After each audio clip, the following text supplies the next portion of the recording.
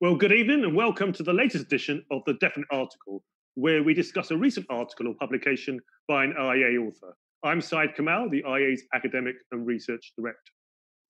On Tuesday, the government announced the lifting of lockdown restrictions from the 4th of July, and a snap poll was shortly afterwards found that 64% of the British public agreed with the easing of the rules for the venues which have remained shut over the recent months. But then another poll, in terms of timing, found that 40% of people think it's coming too soon. Others have criticised the government for the prescriptive nature of some rules. For example, you can go to the pub, but you can't stand at the bar. The plumber can come, but don't make them a cuppa. New IEA report out today titled The Economic Value of Human Life, or Is the Lockdown Worth It, forms the basis of this week's definite article.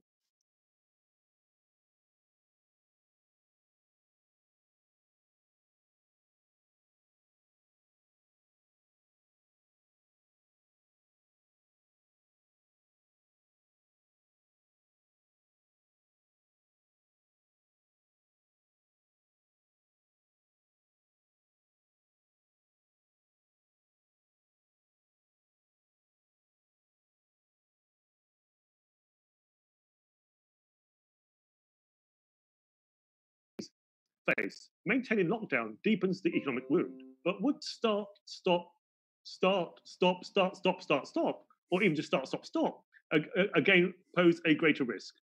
And also, it's not just a question of when, but also how. The Prime Minister has insisted NHS test and trace systems were in place to respond to fresh COVID outbreaks. But what civil liberty implications are there for, uh, for these track and trace apps? Now, joining me today are IEA's uh, economics fellow and author of Coronavirus and the Economic Value of Human Life, uh, Julian Jessop, as well as the IEA's head of regulatory affairs, Victoria Hewson. Julian and Victoria, thank you for joining us this evening. Uh, wonder if I could start with you, Julian. Let's start with your report, your briefing paper, and also a CapX article. Um, you talk about tragic choices need to be made in terms of health economics, ones that ultimately boil down, boil down to put a monetary value on a human life. But how do you arrive at that? And how do you arrive at that in a way that people don't accuse you of being harsh and lacking feeling? Well, it, it is, as you suggest, an extremely difficult and, and, and sensitive issue. And it, it is hard to, to write or even think about these things without apparently offending somebody. So I'm, um, I will tread carefully here. But I think there are, there are a couple of examples that are useful to outline some of the issues. So um, suppose, for example, you had the, the awful responsibility of um, allocating the, the last seat uh, in a lifeboat as the Titanic is sinking. And you had a straight choice between allocating that seat to a healthy young child or, or a sickly old man. Um, I think most people would allocate that seat to the to the healthy young child, and uh, that that is an example of the sorts of judgment that you sometimes need to make. Um, the second example, which is where you actually have to put a monetary cost on something, is that suppose you had a, a new medicine or a road safety improvement that that might save somebody's life or, or prolong it for a few years. Um, if that costs, say, £10,000 per patient or per life saved, then I think we'd all agree it's worth it. Um, but what about 1 million? Or what about 10 million? What about a 100 million? Um, I think there has to be some number at which uh, anybody would start to balk at the sorts of money that needs to be spent to to save that life or or, or to prolong it. So um, I think when people think through those examples, they do recognise that sometimes these difficult decisions do need to be made, and putting a monetary value on on one life and giving it perhaps a higher value than another is a reasonable thing to do. Uh, and this has been a, a, standard thing that's been done in, in health economics for, for, for decades, if not if not longer. Um, often, health economists use something called a QALY, which is a quality adjusted life year, and you know, that's the idea that you know uh, the sort of monetary value you might place on on a year's life in, in, in good health. Um, so if you had a something that saved lots of people's lives who are relatively young and relatively healthy, uh, you might be willing to spend more money on that or or to make more sacrifices elsewhere. Uh, than if you're looking at something that might save the lives of a relatively small number of people who are already old and perhaps with life limiting conditions or other health problems. Uh, and that, as you can see, is where coronavirus starts to become a challenge because we, we now know with a high degree of confidence that the people most vulnerable to it are the relatively elderly. Uh, often with pre-existing health conditions, and I think that has to affect your your assessment of the the measures that are being taken to uh, shutter the economy, but also other things like how quickly you might want children to go back to school, or younger people to go back to work, or to shop, or to or to open their businesses again. But you talk there about the trade-offs between uh, choices of people of different age. You talk about the fact that the elderly seem uh, uh, more susceptible. Um, I think the one of the stats says that the disease's average victim is the age is 84. Um, but when we look at that, are we guilty in some ways of overlooking the unidentifiable victims, those whose lives will be lost or impacted by the policy response to COVID? So, for example, there are uh, there are stories of uh, cancer units uh, having unable to see their patients. Uh, for example, you know, how does the profile of the typical victim also affect the cost benefit analysis? Well, I think a, that's a, another very important point, another very important problem with doing a cost benefit analysis of, of any intervention here. Um, there's a natural tendency to, to fall into the trap of what's sometimes called the identifiable victim problem. So, so we, if, in conditions of uncertainty, we, we naturally focus on the things that are uh, most obvious. So, you know, people dying of, of, COVID uh, quite rightly have received the, the, the most attention in the early stages. Uh, but the flip side of that is we probably don't pay enough attention to some of the less visible costs, um, both uh, economic and non-economic. So the so not directly economic would be things like the impact on on mental health. You know, the, the fact that children, for example, are uh, not getting the, the education they normally get, so they're missing out education opportunities. Uh, there may be patients who who don't have coronavirus, but who have other conditions, who, for one reason or another, are not getting the treatment they would normally be getting. So those sorts of harder to, to measure costs, uh, and then the economic costs themselves. I mean, they, you, know, you can you can put a number on some things like you know GDP, uh, but it's debatable whether that's really a meaningful measure here. Um, you can put a number on things like jobs that are are being lost. But then, even then, you need to ask the question are those jobs only temporarily being put on hold, or will the economy quickly snap back? Um, but the key point here is that you, you can't just assess this in terms of the, the impact on the health of those most at risk from coronavirus. You have to think about all the other costs, some of which may be significantly less visible than others. Now, Victoria, uh, you heard uh, uh, Julian there talk about the economic costs and some of the non-economic costs, and I understand that you've been talking about one of the non-economic costs in terms the cost to our cost to our freedoms. Do you want to elaborate on that? Yes, so I think Julian's paper is a really good read, and he explains these uh, quite difficult concepts really well. And but I think there's another non-economic cost uh, involved that is even harder possibly to to value than the costs that Julian's just talked about, and that is the cost to our freedoms of having laws in place rushed through Parliament with very little scrutiny um, by MPs, periodically um, amended so that oftentimes people didn't really know what the regulations were at any particular time, including the police, quite frankly, who've not really covered themselves in glory in terms of actually understanding what the restrictions were that meant that people were required not to leave their homes, which is an extremely serious, unprecedented incursion into people's freedom, not allowed to leave your home without reasonable excuse.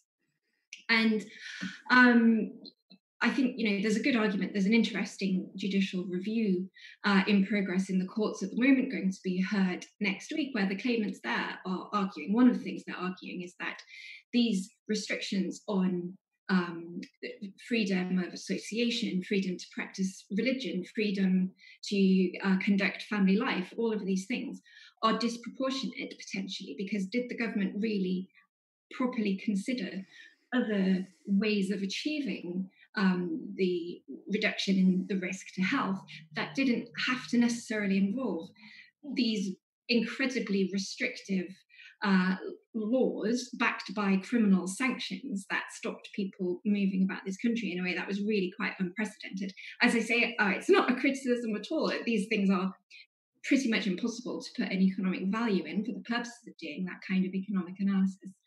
Um, but I think they really shouldn't be forgotten about in, in the calculation. And it also illustrates really why the idea that politicians should just follow the science in making these kinds of political choices is is um, frankly a bit ridiculous because there's no way science could tell you how to to weight up all of these different factors.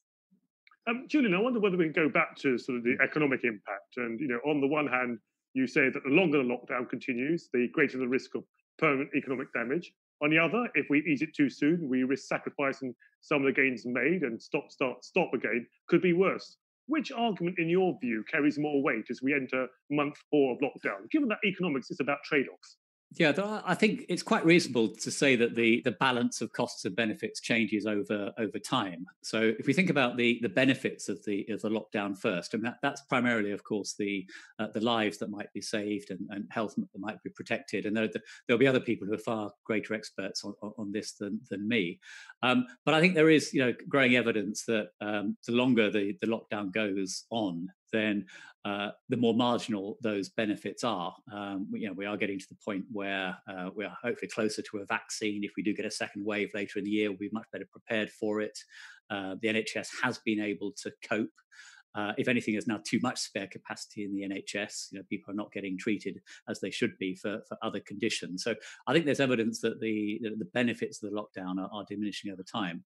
Uh, but it's certainly true that the costs of the lockdown are increasing over time. Um, it's one thing to to have a sort of one or two month shutdown of the economy, um, where the majority of businesses, jobs, and incomes are protected. I mean, that, that's almost like a, a, sort of a, hibernation or a holiday, uh, an enforced holiday. But um, I wouldn't view a you know temporary fall in GDP for that reason alone, um, in the same way as I would a, a prolonged and, and, deep recession, um, where you do get massive job losses, uh, permanent scarring, as people are now calling it, um, making it much much harder to, to restart the economy. Uh, and in the long run, you end up with a you know a smaller economy, possibly higher taxes, possibly lower public spending, certainly making it harder to, to fund the public services and, and, infrastructure that we that we rely on. So, um, while I think it was quite reasonable at the start of the lockdown to say that this was an appropriate and proportionate response to uh, to what we were possibly facing, particularly given all the uncertainties. I think it would be quite reasonable now to say that the balance of risks has, has shifted, uh, and the government is right to sort of gradually ease the lockdown, you know, as the health data permits, and so far it has, uh, and to try and make sure that, if anything, now it errs on the side of lifting the, the, lockdown sooner rather than later. Uh, now that, that's that's my personal view, but that, that's what I also argue in the paper.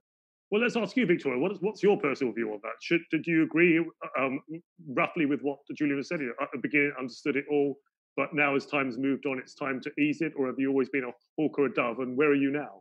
Well, no, I think I, I, I do agree um, with with Julian's position broadly. My qualification is that while we certainly should have treated the virus with extreme seriousness, I certainly don't buy into these ideas that it was a hoax or no worse than a dose of flu or anything like that.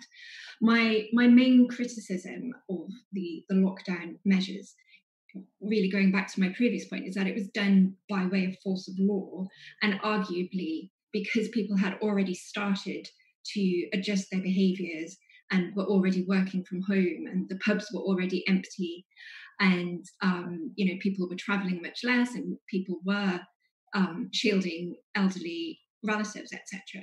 My argument would be perhaps we didn't need those draconian regulations that were prohibiting people from leaving their homes.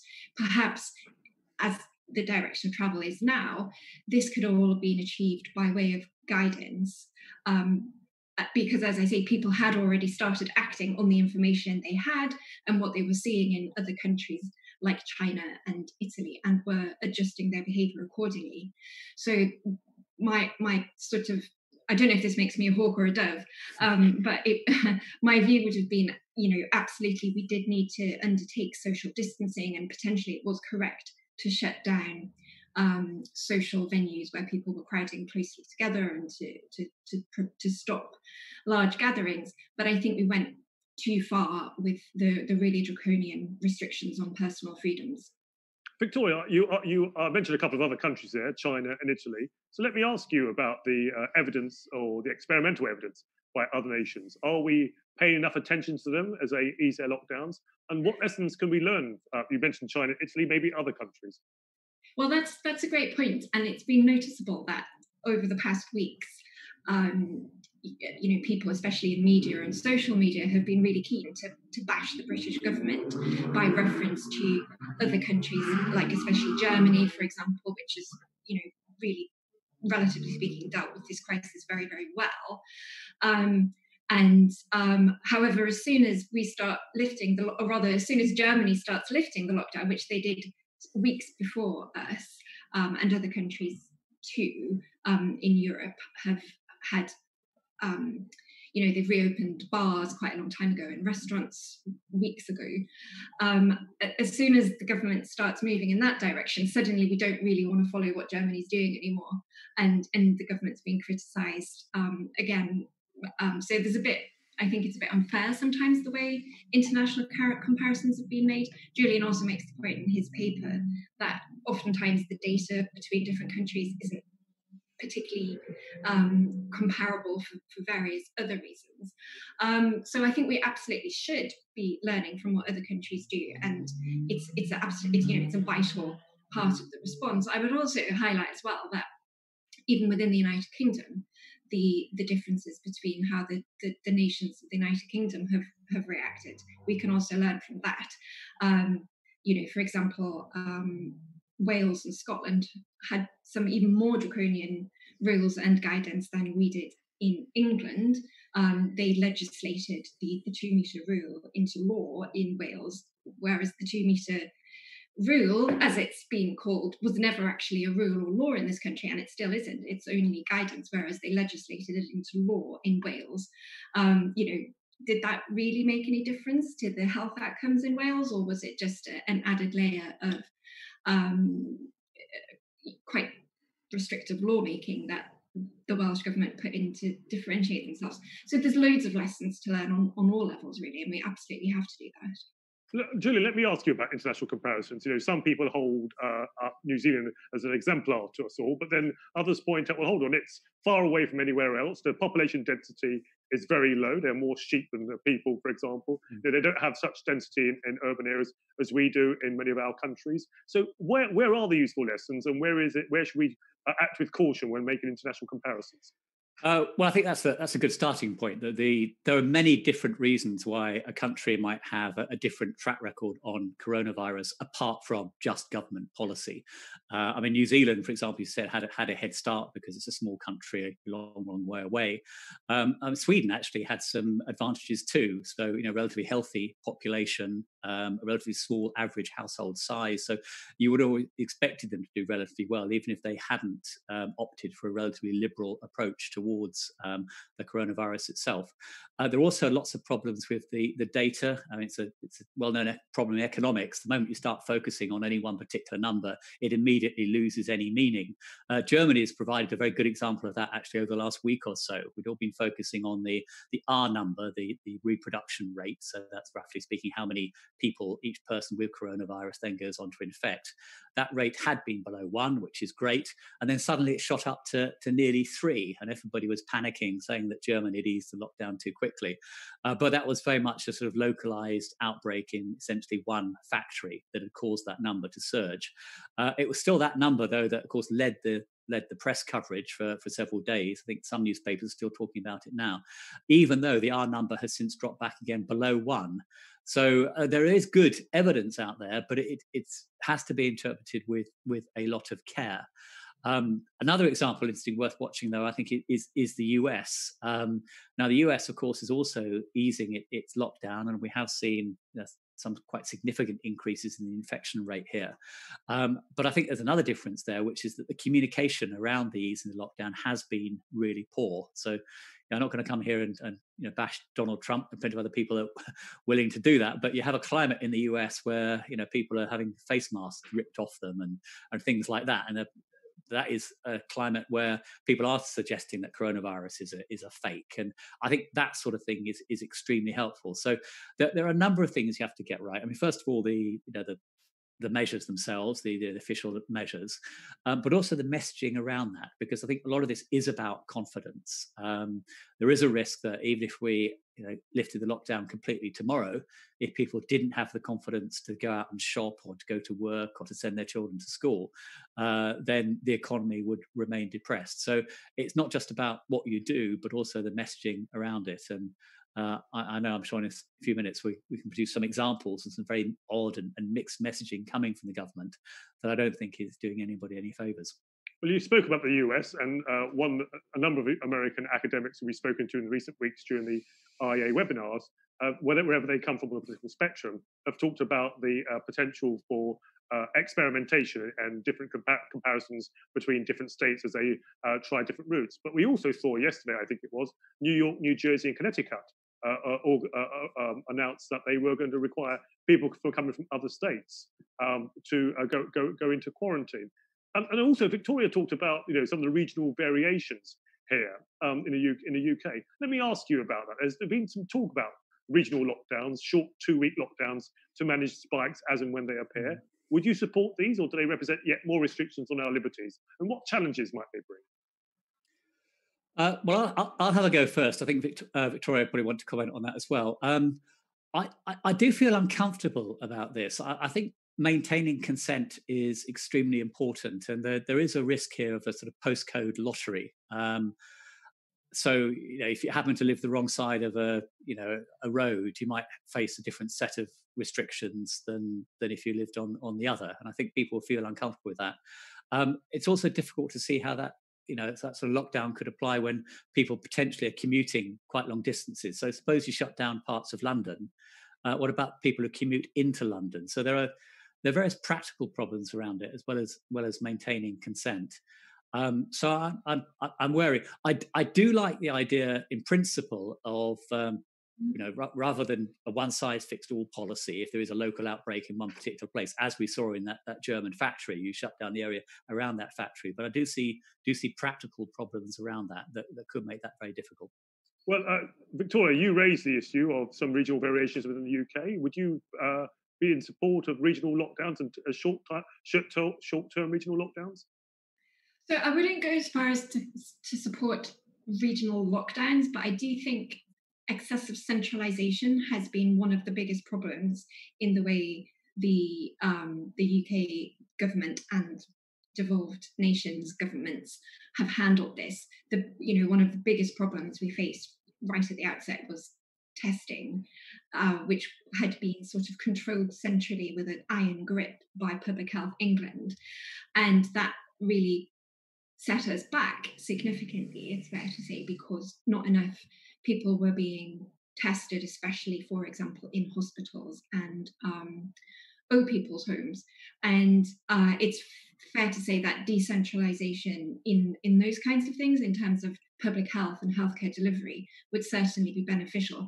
I probably would hold off giving local councils the right to um, institute a lockdown and confine people to their homes. But I dare say, you know, environmental health and public health functions of um, opening hours and of, of, of, bars and entertainment venues and things could be handled at a, at a local level through, for example, licensing laws and, and, environmental health. And I think you know less centralization in, in that sense is is probably a good thing. And that's really, to be fair, one of the reasons why Germany has um, handled the, the crisis better than than the UK has in, in many ways. Victoria, I wonder whether I could stay with you and, and, and talk about the uh, announcements on Tuesday and look at those in greater detail in terms of exactly what's being eased and how. Could you share your overall views before I ask you some more specific questions? Yes. So first of all, important to note um, the the big announcements that Boris Johnson made about coming out of hibernation was England only. Um, the other, you know, Wales, Scotland, and Northern Ireland are doing things slightly differently. Um, but broadly speaking, as, as I say, Boris Johnson announced England is coming out of hibernation. Um, I'll be able to go to the hairdressers in a couple of weeks to, to my great relief and delight. And um, broadly speaking, all of those um, rules restricting restricting people's movement and uh, freedom to associate have been lifted, which or will be lifted as of the fourth of July um, which is which is great news. But it's not quite back to normal the way it is. For example, uh, according to the guidance, uh, I think pubs have to take the names of their punters at the door. Um, how might that, uh, say, ex- for example, put uh, them in conflict, or is it open to abuse? No, well, it's very interesting. First of all, you hit on a very important point, even just with the words that you used there. It's guidance, it's not a rule. Um, so, and, and actually, all of these new, um, well, it's being reported widely on the BBC, etc., that there's all of these new rules about how many families are allowed to stay overnight at one time and, and all this kind of stuff. None of that is rules. That's now all guidance, which is why this is sort of being as a, a common sense rollback, which I strongly welcome. And as I say, perhaps might have been something we could have done from the beginning. In, in respect of this particular um, piece of guidance to um, pubs and restaurants to, to take customers' names at the door, um, it does put them in a difficult position because it's quite hard to know how they could do that without being in breach of data protection laws. So if you're going to keep this list of everybody and their contact details, you need to have a privacy policy. You need to make the privacy policy available to all of these customers, and you need to follow various rules about what you then do with that list. Um, you know, I mean, it's there's been quite a few jokes circulating that well, if I'm going to they're not getting my name. I shall introduce myself as um, Spartacus or, uh, or, or Mickey Mouse or you know whatever which you know i do i do have some sympathy with that. And i suspect because it's guidance I sus- and, and because it's not going to be particularly easy to operate it might fall away. Um, the difficulty is of course with guidance is that even if it's not a hard law um, failure to adhere to guidance could of course be used by authorities to pursue things like health and safety breaches, um, you know, the legal duty to keep your employees safe. So it does introduce some legal uncertainty. Um, and, you, you, know, it does also tie into a, a much more general and potentially long lasting impact of this crisis on our civil liberties and the general acceptance, even appetite that the British people have shown for all of these kinds of measures mm. and, you know, the culture of snooping and snitching that it's encouraged is, um, you know, has not been uh, a, a, particularly pleasant um, feature of this crisis to observe. So hopefully, as the as the fear subsides, those particular tendencies will also subside. Well, uh, uh Julian, uh, you know, you must be delighted, you know, given what you said earlier about being, you know, agreeing with quite the lockdown measures at the beginning, wanted to see some easing now. Uh, what, what, what are your feelings about Tuesday's announcements? Well, I think it's a, another big step in the in the right direction. Um, I mean, if I just I other things are important, but if I focus just on the economy for now, um, we had, of course, that that massive contraction in economic activity, a twenty five percent fall in just two months. That was that was unprecedented. Now, arguably, we we needed to do that if we were serious about stopping people from doing what they would normally be doing. Then you'd expect a big fall in economic activity alongside that. But um, we couldn't keep that going. Um, the good news is that you know since April, the the data that we have so far for May and June has been encouraging. It does suggest the economy is rebounding back uh, quite strongly, I think stronger than, than many people anticipated. So we are at least beginning to see a V shaped recovery um, in the economy. And I think that that V shape will be uh, solidified as the lockdown is, is eased further.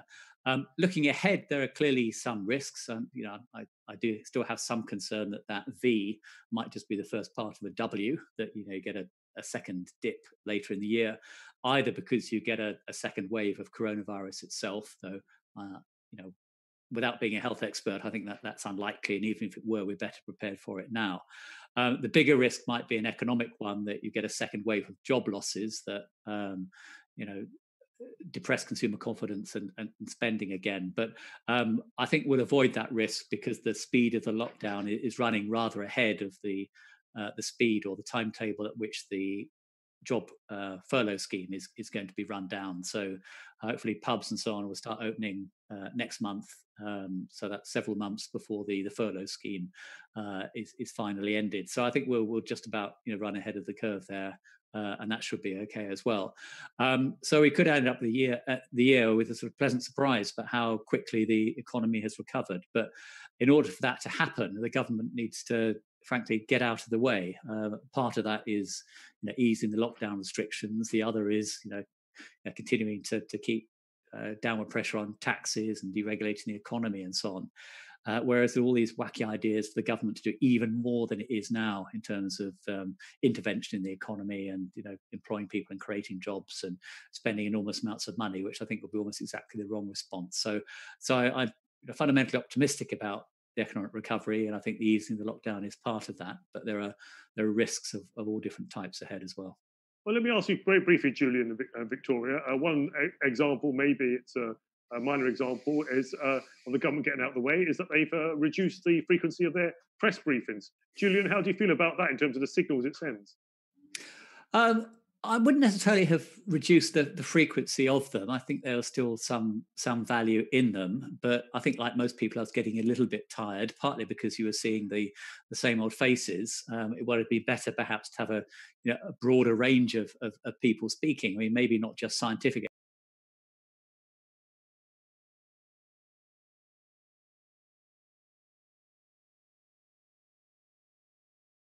three or four journalists asking the same question, even though it's just been answered previously. So there's a, I think, a lack of imagination from some people in the media about how they were handling them. Uh, maybe instead of getting rid of them altogether, we could have had them less frequently and with a wider range of people. But um, I do understand that you know many people were starting to get a bit bored with them, so they're losing the impact somewhat. And Victoria, how do you feel about the ending of the daily press press briefings? I mean, in a sense, I'm pretty neutral because I'd long since got bored and stopped watching them anyway. Um, on the other hand, I I actually think while I'm all for greater transparency, uh, I don't think ultimately these press briefings have been the best way to deliver that. Um, as I mentioned before, the government had to be taken to court in order to prompt them to release the, the scientific uh, advice and, and, minutes, which arguably would have been much more useful than being harangued by Beth Rigby once a day. And, and I think in a, in a way, that sort of theatricality drove a quite reactive set of actions in, in many ways, like wild goose chases about targets for numbers of testing, um, almost really just to avoid or preempt gotcha questioning uh, in quite superficial way by um, by members of, of the press. So yeah, I won't I won't be mourning the end of the briefings, but I would certainly welcome better, more uh, reasoned transparency. Well, Victoria, I wonder whether, as we reach towards the end of the program, we can talk about something you've written. You wrote last week that in response to the news that the NHS coronavirus app had been abandoned in favour of the Apple Google system, civil liberties concerns persist. Could you elaborate on that a bit for us? Yes, so I've been sort of going on about these um, trace apps for quite some time with quite a lot of skepticism. Um, you know, we had this debacle of the NHSX app that they tried to develop independently of an Apple Google API um, because they wanted to do certain things differently from what that API would allow. Now, I was actually quite sympathetic towards that, um, although I, you know, don't really agree with what they were trying to do. I could understand that they weren't just being bloody minded and showing British exceptionalism. They had plausible reasons for wanting to do it differently. However, it was pretty clear that it would work for various technical reasons. I also think, for what it's worth, I don't really think that the Google Apple API based apps will be particularly successful either. Um, in any no country that's got them up and running so far has had particularly strong uptake and they haven't really demonstrated that it's made much difference. So far it's early days but they haven't demonstrated it's made much difference to countering the spread of the infection. But my main concern from a civil liberties perspective is not so much around the the, the tracking through the app, it's what you then do with that information, both in terms of the information being shared within government and used for different purposes, and also in terms of the app and the data on the app being used um, to, for example, determine whether you're allowed on a bus or whether you're allowed into the workplace. For example, Tony Blair has very um, clearly advocated that it should become a sort of digital ID and a disease passport.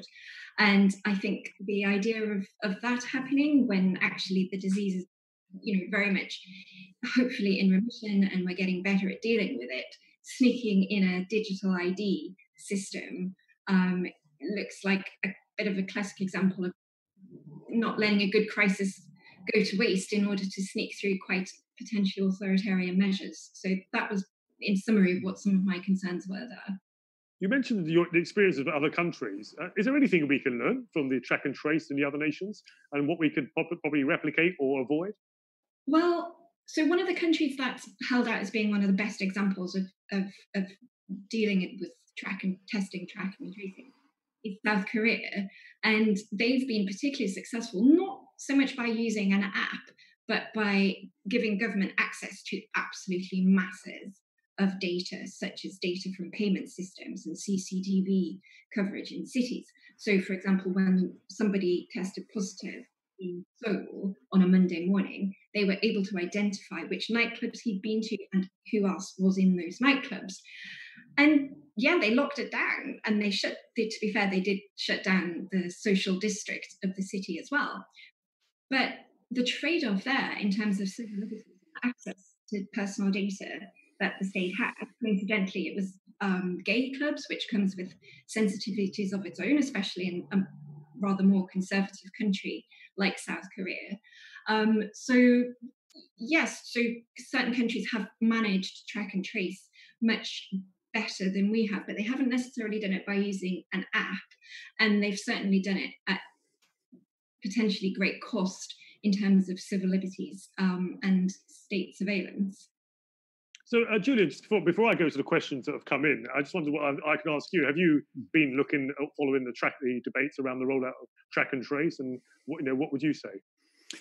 Uh, I haven't clearly followed it as closely as Victoria has, and uh, I'm maybe I'm a sort of a, a, generation that tends to be rather skeptical about any of these things working anyway. So uh, I wasn't certainly holding my breath for um, you know a workable app to, to come out. And um, what limited stuff I have read about it suggests all sorts of, of difficulties. I mean. Uh, the simple practical problem of yes, you might be able to say that you're within one or two meters of somebody, but you know what, what, does that mean in practice? I mean, was there a you know, some sort of screen between you? Were you facing the same direction? All, all sorts of things. It, it, it never sounded plausible to me. So, as sort of a you know a technophobe or a technoskeptic, I, I never held up much hope for it anyway.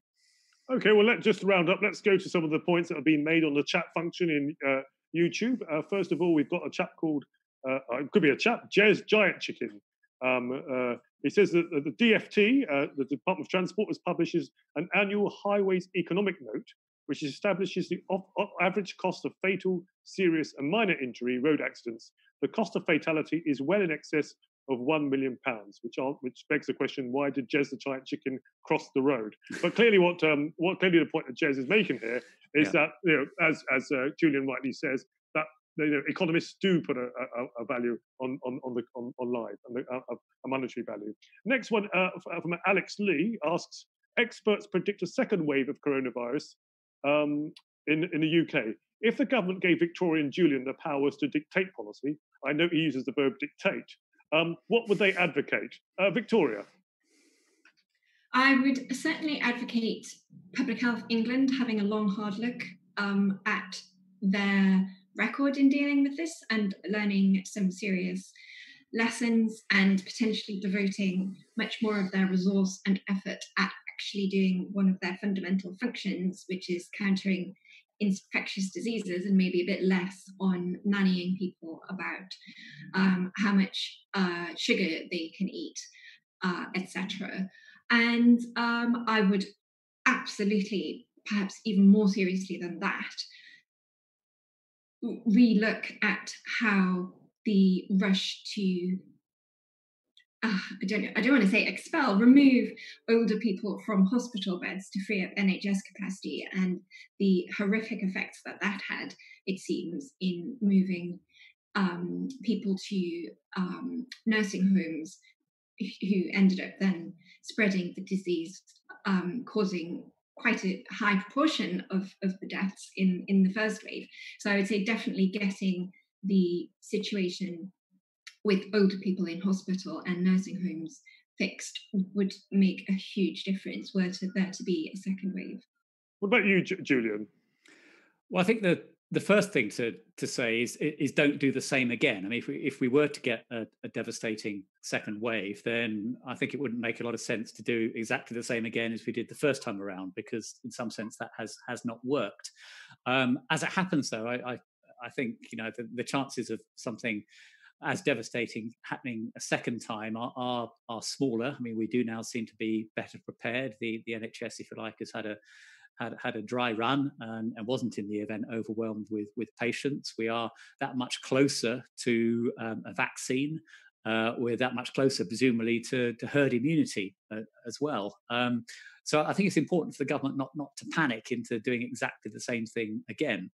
Um, I think it, it is also important to um, make sure that we do learn lessons that we can learn from from elsewhere, from from other countries. Um, some of them have seen uh, marginal increases in the number of infections, but they haven't panicked. You know, they have um, you know stayed the course, and those uh, pickups in infection rates have tended to, to fall back down again. So um, I think that if there is a sign of a, of a second wave, I think this time the government should err on the side of caution and not do things rather than rush to, to shut the economy down again.